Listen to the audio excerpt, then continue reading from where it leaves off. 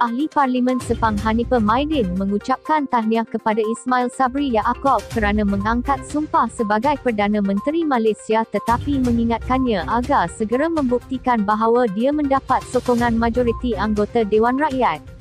Saya tidak ada sedikit masalah pun untuk mengucapkan tahniah kepada YB Bera di atas pelantikan beliau sebagai Perdana Menteri ke-9 atas role sportsmanship.